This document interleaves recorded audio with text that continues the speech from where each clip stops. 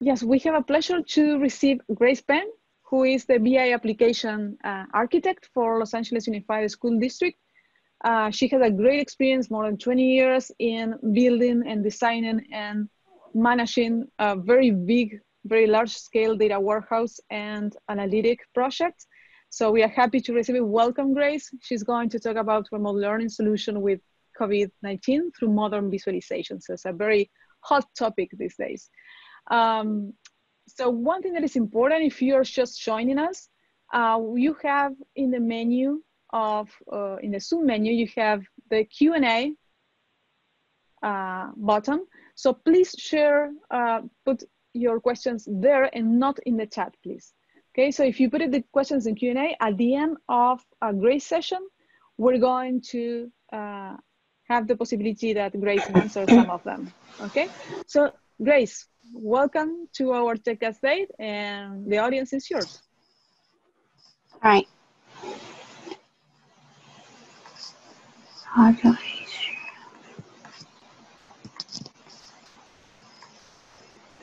All right, good morning, everyone. Um, today, I'm going to share uh, my experience about the how we do the remote learning solution with the COVID-19 through the modern visualization. So how we roll out a comprehensive business intelligence application that is business oriented, result oriented, um, data driven decisions. Let me do the, okay. All right, a little disclaimer about uh, here. It's I'm here to share my experience. So whatever my comments, it's not represent the LAUSD position or endorse any products or techniques.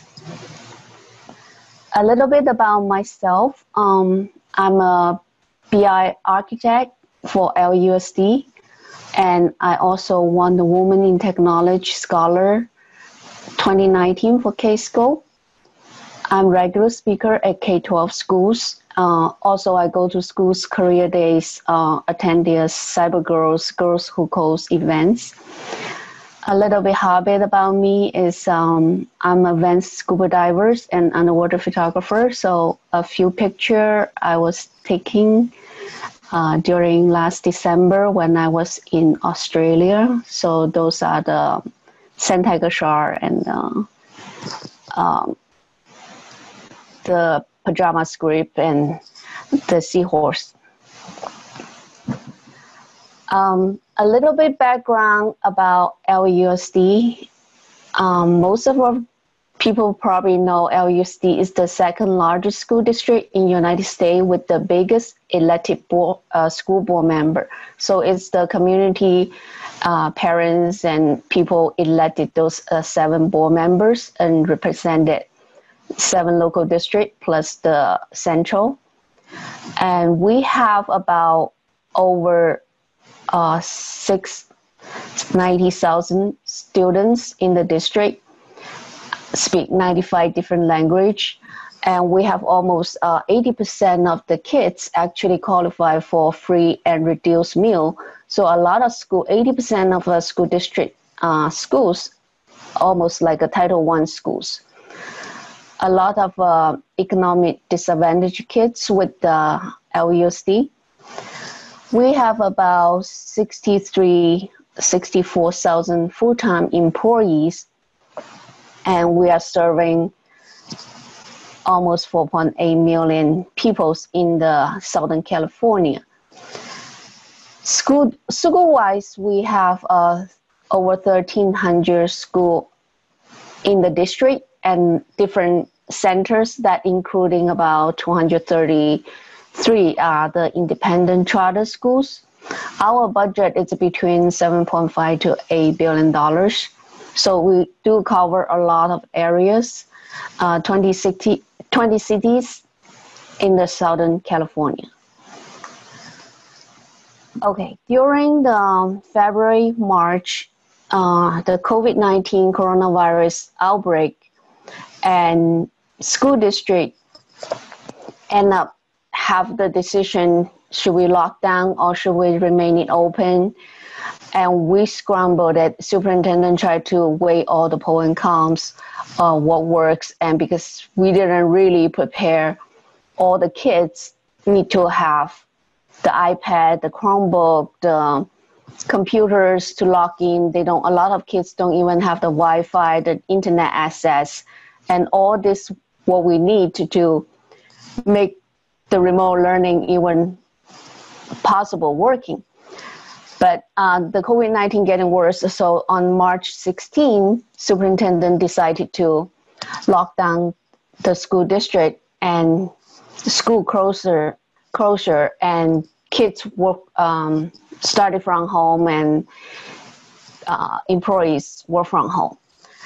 So before that lockdown, we try to figure out. Remember, our school district, a lot of um, students they don't have food. They don't even have food at uh, school. Uh, I mean, at home, and they don't have anything. They don't have the iPad. They don't have the Wi-Fi access. So we actually end up scramble the two fundamental things we need is um, we need to deliver the food to the kids. How we're going to do it. So um, kids, it's a spread all across Southern California, right? 26 cities plus different area. And so superintendent want to identify saying, hey, we want to identify what is the biggest parking lot in the our school district area and we are going to set up the distribute food distribute center so we identify so we need to create a parking lot space and need a geospatial mapping and basically need to identify the top 60 parking space parking lot space and that set up the food distribute center all across the southern california. And also then another challenge is, hey kids don't have the computer kids don't have the wi-fi don't have the mi-fi don't have the internet access. How we're going to do it? So we order a lot of uh, wi-fi hotspot and we also partner up with um, AT&T, Verizon, T-Mobile. They are all willing to give free Wi-Fi to the kids as long as have LAUSD students there the, their neighborhood they can have the free Wi-Fi access. So and also we end up contact a lot of vendors and they donate iPad, they donate a Chromebook, they donate. We allocate a lot of uh, technology, uh, fund stuff into buying a lot of uh, device.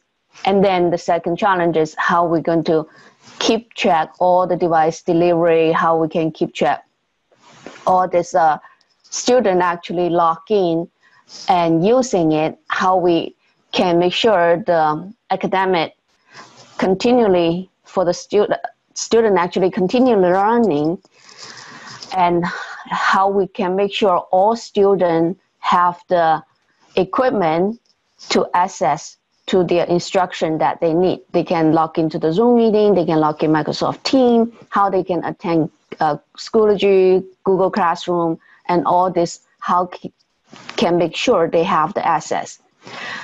Also for the uh, employees and teachers, we want to make sure, keep track how they can participate whatever um, the class or the uh, professional development they need to do. And we also want to see the student actually making progress during this remote learning COVID-19 time period. So we, so this, all these questions and in superintendents and superintendent office, uh, those people, personnel's head saying, hey, how we can check the completion of the professional development for the staff, how we can check all the home assignments and the task completion. And we want to have a dashboard and view the status of the device and the hotspot dis- distribution. And we want to look at the student by the subgroup, right? By their ethnicity, by their gender, by their grade. So we want to see what percentage is student um, log in by different su- student subgroup.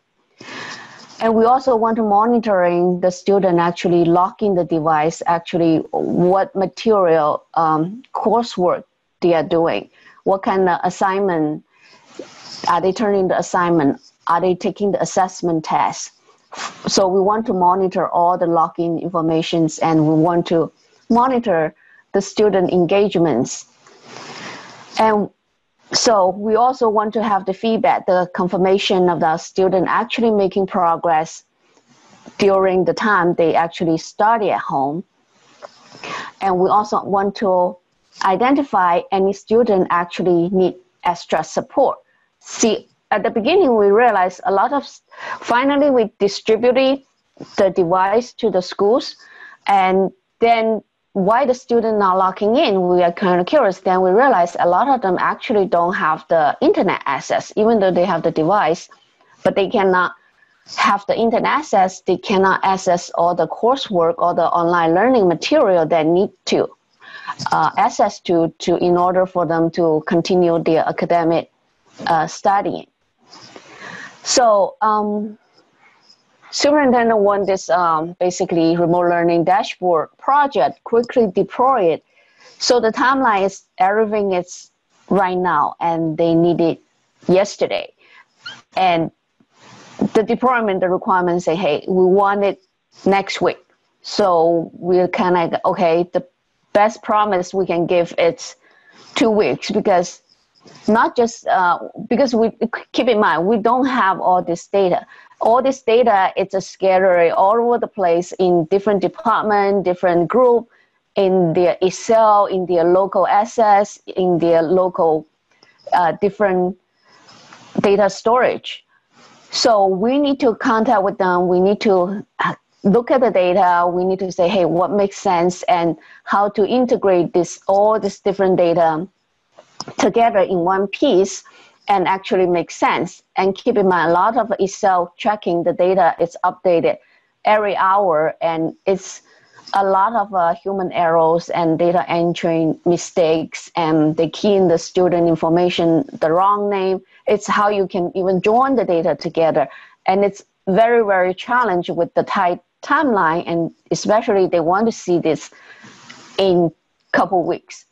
So luckily, we actually my team, we work on the whole child project for more than a year now. So we do luckily have the good foundation of the data in- integration data already in our enterprise data warehouse, which is we collected almost like a 97 different data source from all over the place.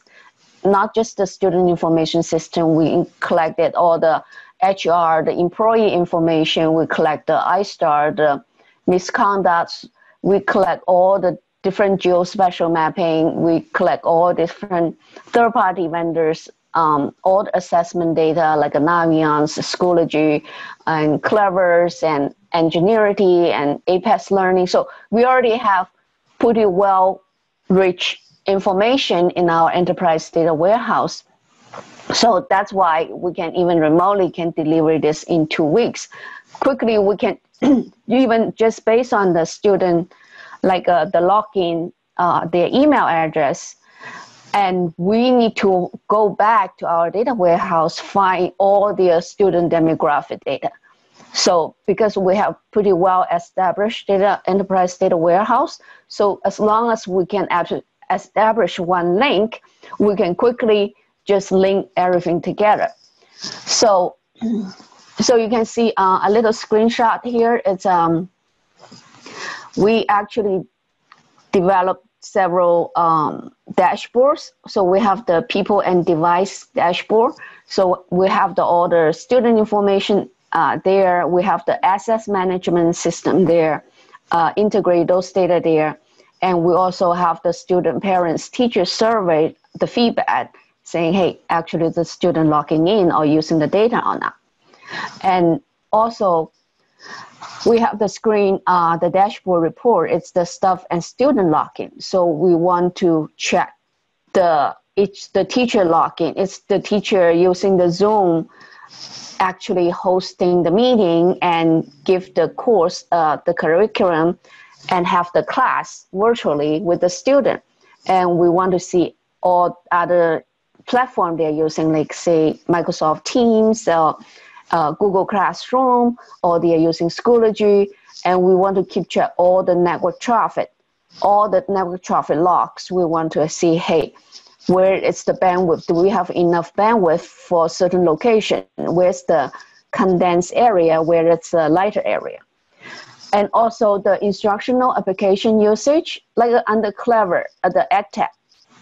We have so many application underneath it. We have the little uh, different benchmark, Illuminate, Achieve 3000, and all these different application under uh, Clever. So are they using that platform? Are they taking the assessment? Are they using different applications? So we want to see all the digital curriculum actually um, what class, uh, what platform they use more and how the student using it. So we want to know all this information. And the last part is like a student learning and their uh, progress monitoring. So we want to see all the LMS um, learning management system, like a, uh, for us will be the Schoology is the big one, and then the Google Classroom, a lot of uh, school and student actually using it. And also all the assessment platform, we want to uh, lay it out, rank it saying, hey, how many student using the Schoology, how many student actually using the Edgenuity, and then we find out actually a lot of uh, uh, student and the teachers using the Class Dojo app. So all this information we want to collect it and make sense of it and how we can extract and become the useful information and become the data-driven decision for superintendent or, or the administrator or even the just local local district uh, superintendent and the uh, principals making the decisions how we can coordinate and make sure everybody have the equal opportunity access online and can do the remote learning at home. So we also work on trying to get the survey from the uh, from the feedback from the teachers, from the students, from the parents, from the community. So we want to see how the learning progress for all the students. So whole child project is basically it's a student centered learning platform. So it's all focused on what 360 degree we can cover the students. And it cover k to 12 and also even the uh, adult students. So we want to see the connectivity the what the needs they are and also the social emotional development. Like if some student not locking in why they are not doing homework can we send out generate alert and notification to the students, to the parents, to the principals. So it's like an action driven notification and alert to the people that they can take the action and take care of the student and take care of the kids. So um, a little screenshot about the people and device.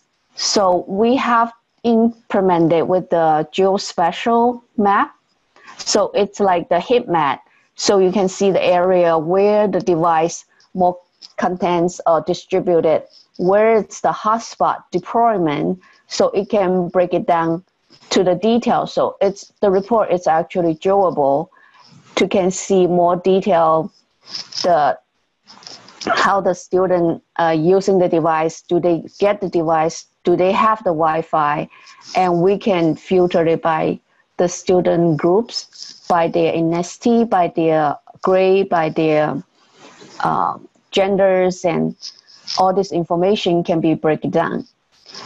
And we want to see where's the low internet availability. So when we have this information, we can go back to talk to AT&T, go back to talk to Verizon, and see they can help and T-Mobile. So keep in mind we cannot just open up the when i was in the at&t meeting we cannot just open it up saying hey have the free wi-fi or free internet access because remember we are dealing with the kids under most of the kids is under 18 so we need to have some sort of uh, parental kind of control access. So we need to the admin portal you need to control saying, hey, they all they cannot access, for example, the porn side, the violent side, and all this uh, internet out there. So we need to limit the um, access need to be the kids friendly. So all these things we need to identify and lock down. It's very tedious work too, and you need to lock down and define all these details. So um, we also monitor all the teachers' um, professional developments and see all their progress over time. So just a lot of a wealth of information need to keep track and need to make sense and want to understand what information we extract, what question we try to answer, what problem we try to solve.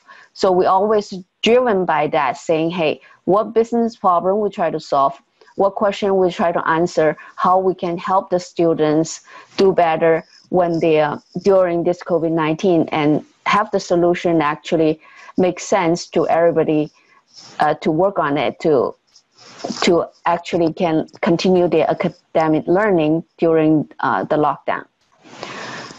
Oh. So um, we also build a usage analytics. Basically, it's a uh, checking the login information every day. So we have the daily refresh data coming in. So we load the data every night. So the data uh, check all the login information for the students and the staff. So could be very various things like uh, EdTech logins, the LMS, the learning management system login, how they respond to the texts and emails, uh, all the online meetings and activities, how they participate the class, and all this information it's doable. And also all the conference they attend, all the external curriculum materials they're using. Are they using the YouTube? Are they using the Khan Academy? Are they using the Coursera? All this information, all the tracks and all the discussion boards. So just a lot of information you need to keep track of. And also we want to have the trend analytics and the time period, like over the week. Is the student log more student log in or uh, more staff and student log in using the device and more student participate and engage? So we want to have the trend analytic week by week. We want to see it's making the progress it's making the continued improvement on that and also checking emails it's are they opening checking the log login for household. So we realize sometimes there are several kids live in one the same household especially we have a lot of uh, like a uh, homeless um, also the the kids actually it's a foster kids so they have lived in the same household. So maybe just uh, one internet access for the whole household instead we don't need multiple but then at the same time they do need everybody need to have their own device their own laptop or ipad or login device to access the internet so how we can um, we constantly evaluate saying hey how we can uh, develop these efficiency procedures to call and contact students and stuff. So who is not locking in? How? What's the roadblock? What's the problem they encounter? So all this information, we constantly try to uh, search that. And also the instructional application usage, we will see all the usage like uh, at a glance, checking at a glance, so you can see all the product under different application, how they use it, see how many time, uh, what's the time student actually spend on each applications and which material, external curriculum material and digital contents actually student like to go to or use it, why it's more efficiency for them. And we want to check all the distribution and receive are they receiving all the coursework? Are they receiving all the assignments? Are they turning the assignments and we want to see all the participation online meetings and digital content and all these things so um, checking assignments and coursework it's it's very challenge and because it's so tedious and many details we need to keep track of. And we want to see what information actually makes sense. What's the, uh, we want to monitor the work efforts, like the Google items viewed it and created, and how many assignments has been completed, submitted and completed what all the usage about the EdTech products and participation in discussions and checking their grade by subject area. So it's like a, almost like Rubik's Cube in many ways and slice it and dice it, how to cube it and measure the progress against this all this learning outcomes that students need to have. So um, I don't know, I have enough time to do the uh, probably I don't have enough time to do the uh, demo, so maybe I put this at the end if we have more time. Yeah, uh, yeah that would that would be good. Yeah. Yeah. So let me just uh, skip it to the the technical part. So uh, what's coming next? So we still focus on the co- college and career readiness and social emotion support. So and then the, at the end of the day, we try to focus on the personalized uh, individual educational program and personalized blended learning experience for all the students.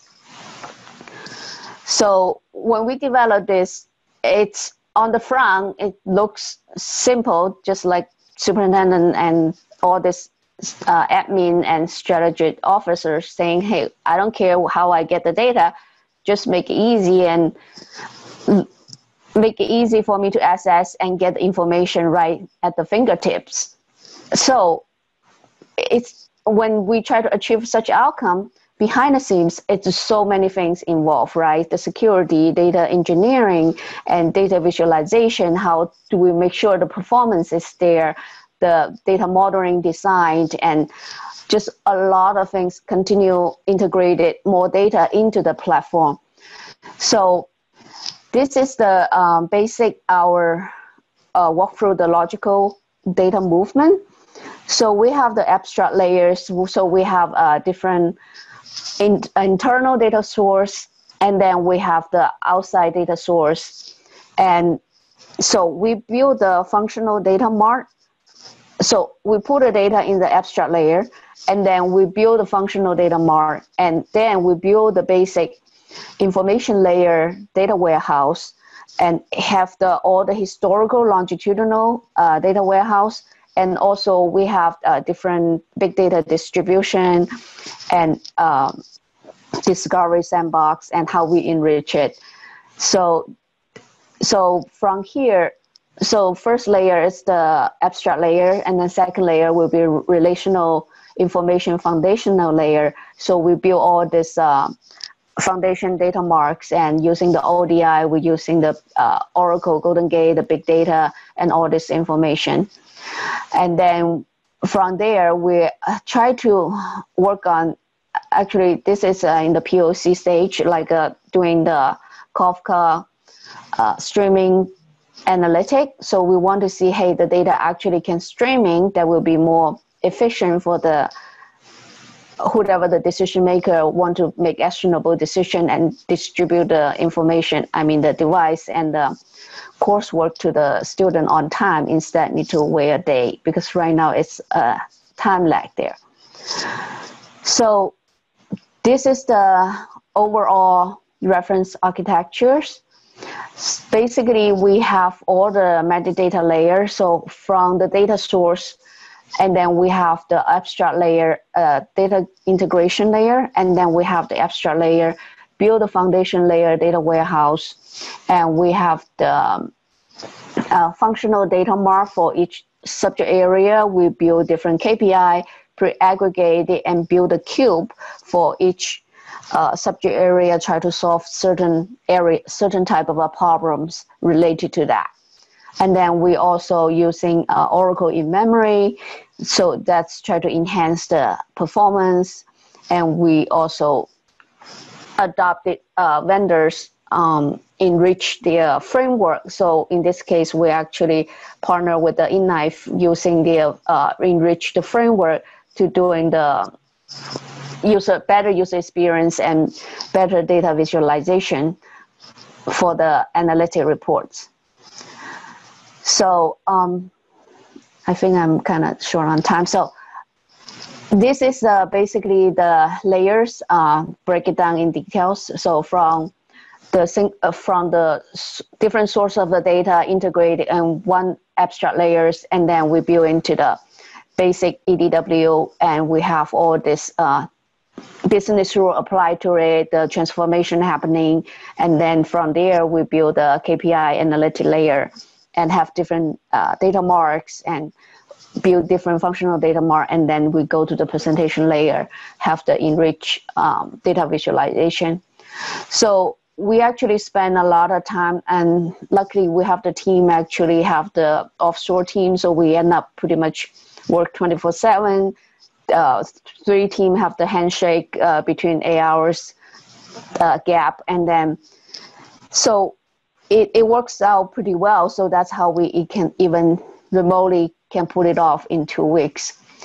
And oracle database is complex but it can support multiple workloads and we try to see how we how many jobs we can actually go parallel. Remember we have huge every data is a huge amount of data set right? Like attendance it's over 180 million records just for one year and each student have a seven periods attendant uh, attendance and then they have so many course and just if you do the math, it's just huge amount of data we need to deal with, and how we can make it simp- simpler, and how can we support and just answer the question that one question in superintendent mind, right? How to make sure the student still can continue learning, and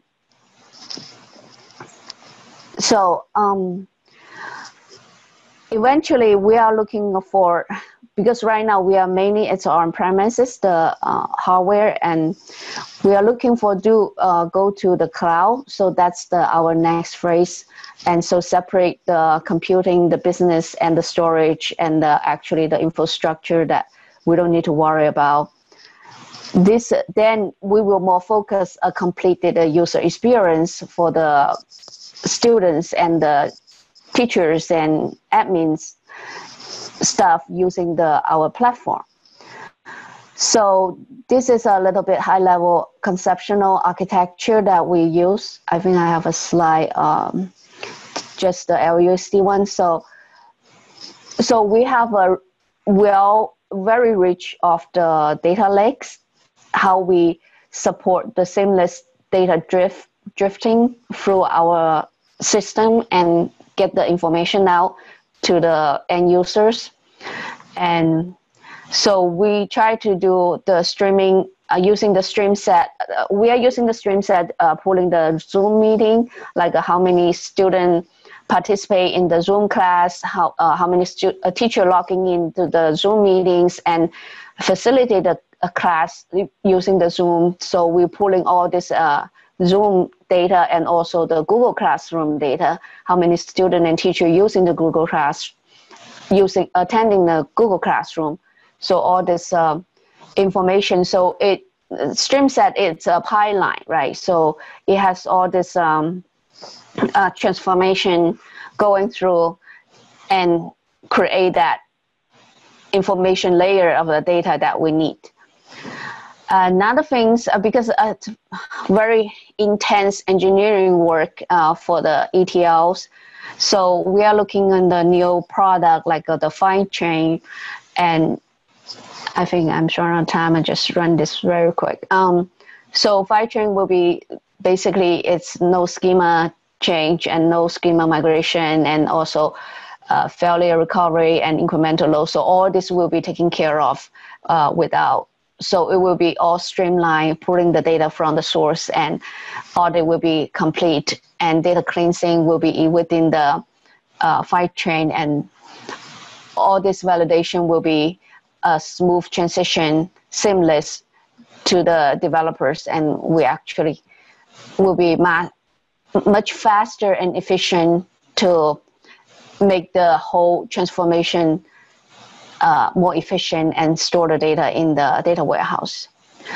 So this is the architecture of the LAUSD I was talking about earlier. So from the source system, we StreamSet and we try to use uh, adaptive Fivetran and using the Kafka, using the data lake, so how we can actually store the data in our Oracle Enterprise Data Warehouse in our relational data stores. And also we have the whole child, the front end actually, in order for the performance, because we have huge amount of data set, we're actually using the Elasticsearch and so there's a NoSQL index and so how to make it more efficient and go through the framework using the uh, in this case we're using the inline framework. So it's a javascript we have more enriched information. And so this is just a um, little comparison between the relation relational uh, traditional model and then Apache Kafka that we want to say, hey, schema on the write or schema on the read. So all this uh, information. So, um, okay, I think I, I think, I think we, we have a, Okay. Thank you so much, Grace. Uh, I, I think we have a, a few questions. Okay. Uh, so, uh, there's one that says, do we have the solution architect for this use case? I think that you just shown the solution architect. I don't know if you want to, to, to explain a little bit more. Uh, yes, um, we do have a solution architect. We um, right now our main vendor it's a Knife, so we do have um, partner with the industrial expert expert from the field. So we partner, we design the data warehouse, the whole architecture together. They they actually pull in more people from outside, whoever it's the well-known uh, industry architect, and we partner together and design all these uh, different layers and what makes sense. And it's customized to LAUSD too because um, we want to have our our unique LAUSD is a very complicated case. Um, for a lot of reasons. Any special case we encounter, it's within the LAUSD. So, so they adopt the special case. They think of the okay, what is the best practice in the industry, and how can customize to fit into the LAUSD. So we do have the um, solution architect in this case. Okay, perfect. Um, so we have uh, a few more questions. One that asks uh, from anonymous attendee, can you describe the underlying technology stack for the solution? I think you already showed the, the slide, specifically the K12 360. Oh, K12 360. Um, that's, um, I think it's a Knife product. Um, we customize it to become the LAUSD whole child. Um, basically, will help the student uh, like I said, it's a it takes a village to raise the kids, right? So how we can cover the student 360, not just the academic, we also cover how the after school programs, the Beyond the Bell, and also extracurriculum, how the social emotional engage. So K12 360, it's a in-life product. They actually uh, have this the same concept. It's how we can cover the student 360 degree and make sure um, all the dashboard report, all the alert and notification we generated, it's try to raise this kid be better. So that it's uh, I think that it's if particularly the K1260, I think it's uh, Knife uh, branded, it's their product. Okay. Um, and so, which data warehousing tool do you use? Uh, Teres Condit said that. Uh, I think you're using the Oracle database for the data warehouse. Yes, yes. We are. We have the full full stack of the Oracle Foundation Suite. So from the Oracle uh, ODIs, the Oracle OBIEE, uh, the whole in the whole enchilada, basically end to end, and oh, then tune, right? Yes, and then we also on top of it, we're using Elasticsearch, we're using um, Knife uh, UI framework, and so it's a lot of uh, things engaged. So we are Oracle shop for many, many, many years. Actually, 20 years. Right. Um, I, I don't think that we will have time for more questions. One thing that we can do, uh, and Kerry, correct me if I'm wrong, we can send you the, the, the few questions that we have, one about privacy concerns with the network login process, and another about using OMM uh, uh, 12c to metadata governance, if you're using Oracle Enterprise Metadata Management 12c. Um, mm-hmm. So we are out of time right now, guys. Um, so let's, I, I, I will do that so I we, we're going to send you the questions and to, well, to continue with So for those, yeah, just real quick, the, uh, submitted questions. Okay, just Sorry, real quick about the uh, data privacy. So we this is the top priority for us because it's all the kids, it's the younger kids. So we have a very heavy law, HIPAA law, and all kinds of law to restrain it. So our system is not open to the public. So it's a heavily role-based security, role-based need-to-know basis. So a teacher only see their uh, students' information, principal only see their school information, and the local district soup, they only see their local district. So on, not everybody can see everybody. Even our board member, they cannot see by law, they cannot see the detailed student information. Mm-hmm. So we block them. They can see the aggregate information, summative information, but they cannot see the detailed student information and we protect the student very well. If the student certain category is they less than like a, a 10 people, we don't identify them. So we make it an identifiable. So that group will not be showing. So it's very heavily guarded on that when it comes to the data security and, and what we're showing to people and what we share with others. Perfect, perfect. Grace, thank you so much. This was so much interesting and uh, it was very useful and it was you know it's, it's, it's a topic that it's, it's affected all of us this pandemic. So thank you so much for your presentation. It was great. And uh, so then uh, if you want to share some